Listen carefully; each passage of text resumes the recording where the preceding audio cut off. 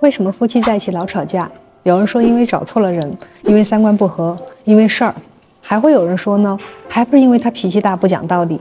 但引发夫妻吵架的真正原因其实是对方的态度。态度包含三个部分：表情、说话时的语气和用词用句。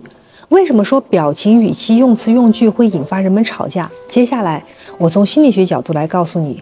第一，表情，看看这几张图，你有什么感觉？你是不是觉得很烦躁、很憋气？你想赶紧划走这些照片？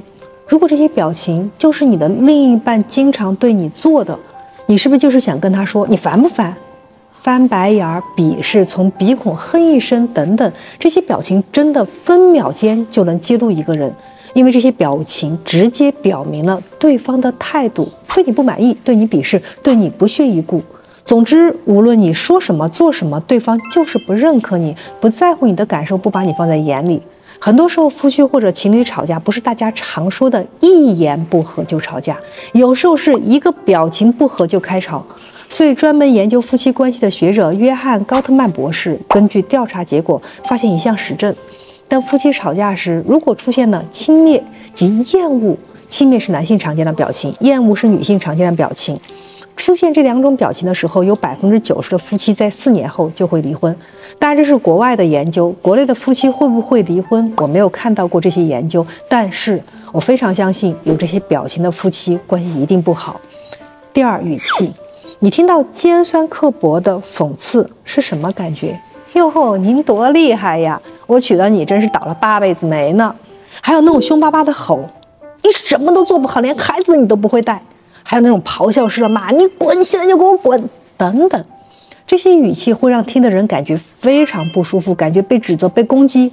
人感觉到被攻击的时候，很容易反抗，于是吵架一定要吵赢，就成了彼此攻击对方的武器。第三啊，用词用句，这也是最容易导致吵架的部分。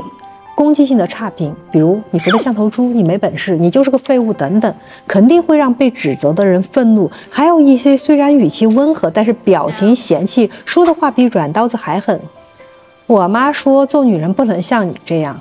哈，我朋友的老公可能赚钱了，他昨天刚买了一个什么什么样的包呢？哈，我也不知道我啥时候能有啊。哎，行了行了行了，这些衣服你就不要穿了，别人穿好看，你穿简直了。就这些嫌弃、瞧不起对方的说话内容，会直接传递出一个人对另一个人，或者他们一家人对一个人的不满。这种态度直接表明我瞧不上你，我嫌弃你，厌恶你。不需要看对方的表情，也不需要听语气，只听词，你就能感觉到他指责、贬低、否定、轻蔑、不认可你。而且有时候你能感觉到强迫、侮辱这种语言暴力，真的很容易引起激烈的愤怒的吵架。所以你想想看。